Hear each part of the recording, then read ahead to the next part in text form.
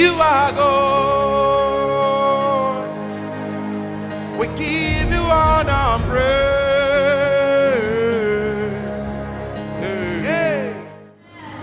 Amen and amen. I want to share with us basically what I believe God wants you to grasp this time and this season. Strings, please.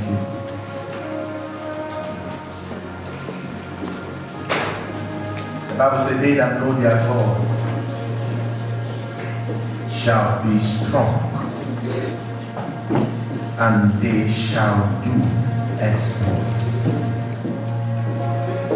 And in Philippians chapter 3 and verse 10, Philippians chapter 3 and verse 10.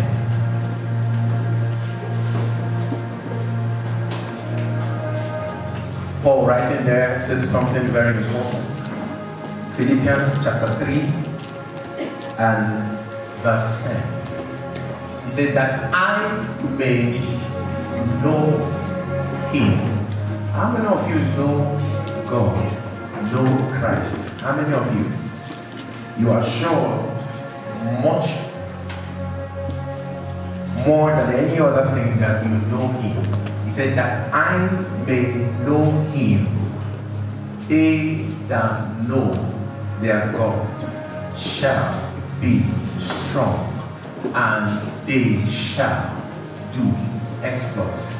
One sign that you know him is that you shall be strong and exploits. That I may know him the power of his resurrection and the fellowship of his sufferings, being made conformable unto his death. Keep going, verse 11.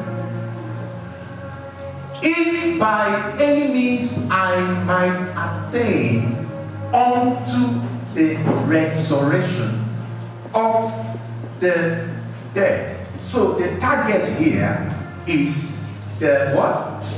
Resurrection of the dead. And Jesus speaking to Mary said something. He said, I am the resurrection and I am life. One of the strangest places in the scriptures where he said, Those that believe, died and believe and died shall live again, and those that live and believe shall never die. And he said to them, Do you believe it? I want to bring to you a message today the power of his resurrection. Now, we need to understand something.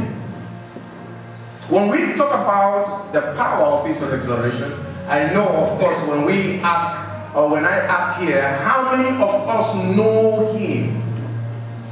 Of course, a lot of people here will raise their hand up.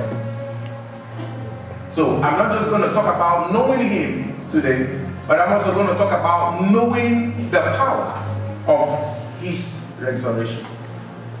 So the first thing we need to look at is what is resurrection? You will not celebrate the resurrection of Christ until you receive the picture of Christ on the cross. When you know what and how he became just for you and me, what he took upon himself just for you and me, then you will not understand the power behind the resurrection.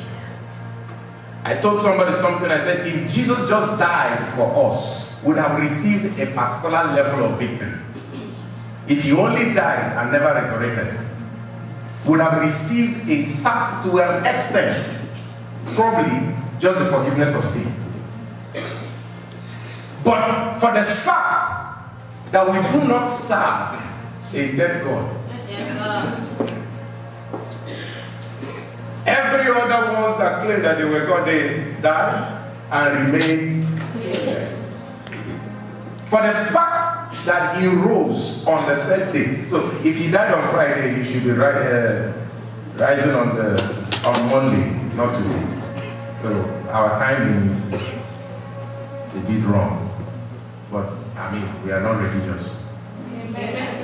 So we should be celebrating Easter on Monday, not today. Amen. Amen.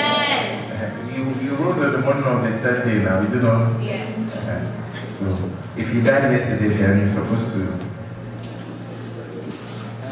But let's leave that. We are celebrating him today.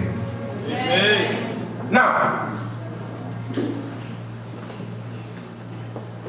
what is the power of his resurrection? I want to draw your attention to Romans chapter 8 and verse 11. I'm trying to lay a foundation. Romans chapter 8. Remember, the target here is that by any means we may attain resurrection. Now, is, is that resurrection supposed to come after we have died? Or can some people get into that realm called resurrection even while they are alive? Alright? Is a knowledge of God that you can grasp. There is a knowing of Christ that you can reach to, and there is a knowing of power that you can reach to that will cause something to happen to you. That suddenly you find yourself operating in the resurrection power. And I'm going to show you some mysteries why the church needs to step into something.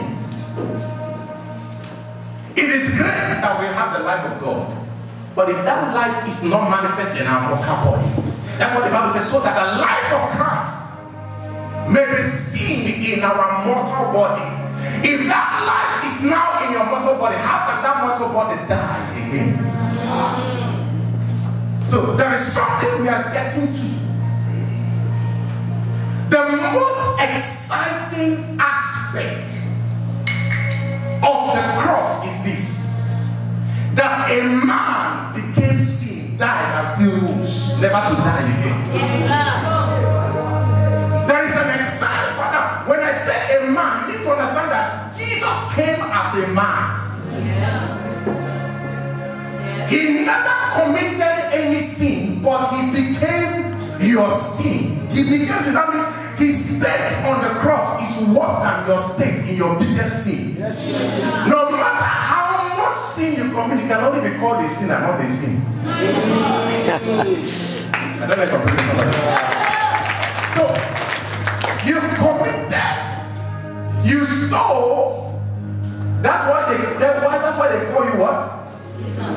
A sinner. Or they call you a thief. But Jesus did not take the name of a thief, he became the steal. You committed fornication. Jesus- You, they can only call you fornicator. But Jesus became the fornication. So he stayed on the cross. That's why I said, if you understand the state of Jesus right there on the cross, then suddenly you begin to understand that huh, huh, if something happened to him on the third morning that made him to rise, then there is hope for somebody here. I see some people rising from something. But there's something exciting about resurrection. He said that I may know the power of what? His resurrection. That means in this resurrection matter, there is power behind it. I don't know if I'm talking to somebody.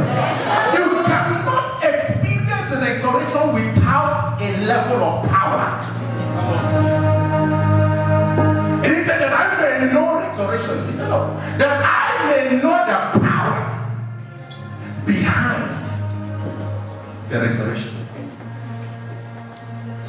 Look at somebody say, knowing the power of God pays. That's why the Bible says something. They said, they said, for those who have touched them, tested the power of the age to come. I mean, some people can cross into immortality to touch something that is about to come. The age is not here yet, but some people can enter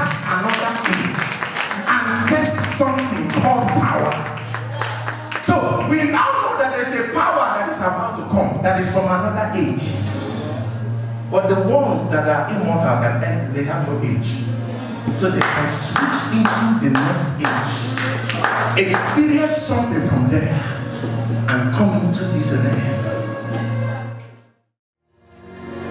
You are God.